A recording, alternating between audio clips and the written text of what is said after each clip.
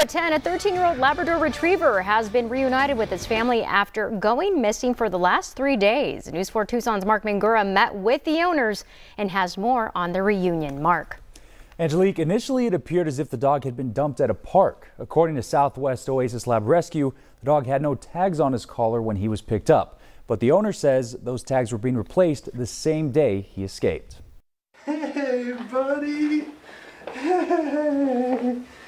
How are you? As a 13 year old dog, the family wasn't sure if they would ever see him again. They say he had been missing for nearly three days. Good boy, Marcus. Marcus's last hours could have been pretty traumatic, and I think that that's what my focus was, um, opposed to thinking that we may get him back. I, I was really thinking it was over.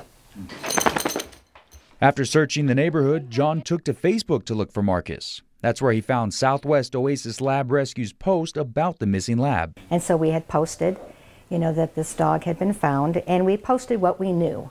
You know, it's what the story was. Initially identified as a female, John knew it was Marcus right away. We kept all your stuff, buddy. We knew you were coming back.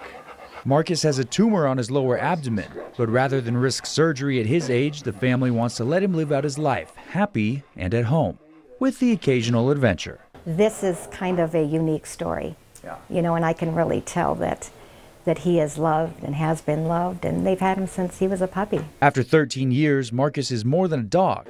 He's an extension of the family. He is um, the the person that we we go to when we're down, and uh, he keeps us up and keeps us positive all the time. So we're we're really thankful and happy that we got him back.